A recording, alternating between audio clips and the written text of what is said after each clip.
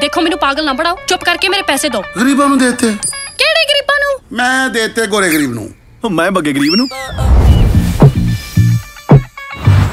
ਇਹਨਾਂ ਨੂੰ ਕਿੱਥੋਂ ਚੁੱਕ ਲਿਆ ਉਹ ਮੇਰਾ ਦੋਸਤ ਹੈ ਤੇ ਉਹਦੀ ਦਾਦੀ ਹੈ। ਉਹ ਤੇਰੇ ਤੇ 3600 ਯਾਰ ਨੇ। ਉਹ ਜਿਹਦਾ ਜੀ ਕਰੇਗਾ ਪੂਰਾ ਖਾਨਦਾਨ ਚੁੱਕ ਕੇ ਮੇਰੇ ਘਰ ਲੈ ਆਏਗਾ। ਮੈਂ ਕਹਿੰਦਾ ਕੱਢ ਇਹਨਾਂ ਨੂੰ ਬਾਹਰ। ਅੱਧਾ ਕਿਰਾਇਆ ਇਹਨਾਂ ਨੇ ਦਿਆ ਕਰਨਾ। ਓਏ ਤੇ ਹੀਰੇ ਲੋਕ ਨੇ।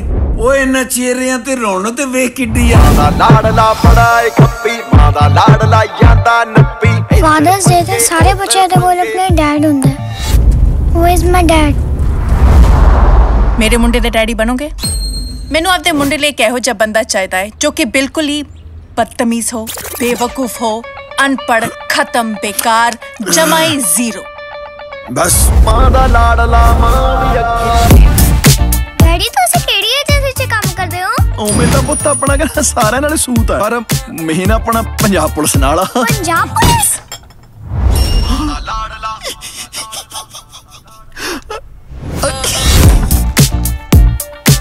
ਤੁਸੀਂ ਇੱਥੇ ਕੀ ਕਰ ਰਹੇ ਹੋ? ਮੰਮੀ ਡੈਡੀ ਕਹਿੰਦੇ ਅੱਜ ਆਪਾਂ ਤੁਹਾਡੇ ਨਾਲ ਸੋਣਾ।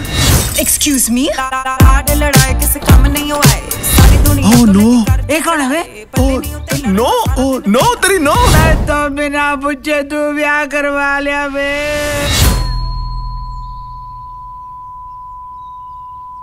ਗੋਰੇ ਹੌਸਲਾ ਯਾਰ। ਪਾਣੀ ਪੁੱਤ। ਉਹ ਤੇ ਪਾਣੀ ਮੰਗ ਰਹੀ ਹੈ। ਪਿਆ ਦਿਓ ਫਿਰ ਪਾਣੀ ਪਿਆ। ਮਾਂ ਦਾ ਲਾੜਲਾ ਬੜਾ ਏ ਡੈਡੀ ਕਿਸੇ? ਮੰਮੀ ਕਿਸੇ? ਡੈਡੀ ਮੰਮੀ ਨੂੰ ਕਿਸੇ? ਮੈਂ ਚਾਹੁੰਦੀ ਹਾਂ ਕਿ ਕੈਵਨ ਇੱਕ well mannered sophisticated prince William type ਬੰਦਾ ਬਣੇ।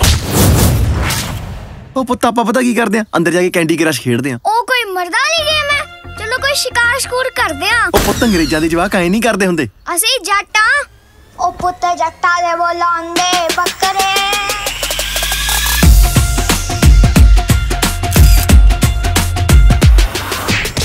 ਤੂੰ ਆਪਾਂ ਕਰਜ਼ਈ ਵੀ ਤੇ ਬਹੁਤ ਜ਼ਿਆਦਾ ਯਾਰ। ਆਪਣੇ ਮੱਲੇ ਜੋ ਬੰਦਾ ਰਹਿੰਦਾ ਇਹਨੇ ਸਾਰੀ ਦੁਨੀਆ ਦੇ ਪੈਸੇ ਦੇਣੇ। ਆਪਾਂ ਉਹਦੇ ਵੀ ਦੇਣੇ। ਬੇਬੇ ਮੈਂ ਤਾਂ ਕੀ ਕੀ ਕਰਾਈ ਜਾਂਦੀ ਆ? ਨੌਕਰ ਲੱਗੀ ਆ ਮੈਂ। ਕਿਉਂ ਲੜਦੀ ਰਹਿਣੀ ਹੈ ਨੀ ਤੇਰੇ ਘਰ ਵਾਲਾ ਹੈ।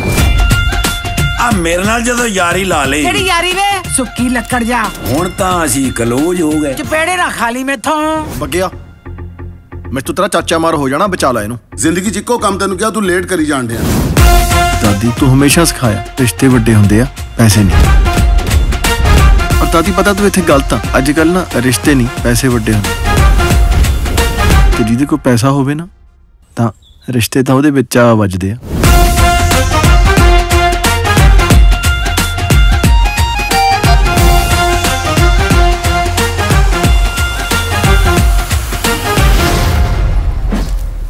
ਮੈਨੂੰ ਕਰੇ ਹਾਂ ਮਨਾ ਮੈਂ ਕਸੂਨ ਮਾਰ ਕੇ ਤੇ ਦੰਦ ਬਾਹਰ ਕੱਢ ਦਿਆਂ। ਜੋ ਡਾਕਟਰ ਨੇ ਕਹਿਤਾ ਉਹ ਕਹਿਤਾ। ਜੋ ਮੈਂ ਨਹੀਂ ਮੰਨਿਆ ਉਹ ਮੈਂ ਨਹੀਂ ਮੰਨਿਆ।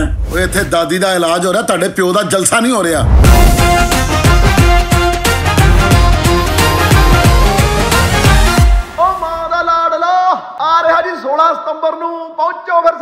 Chưa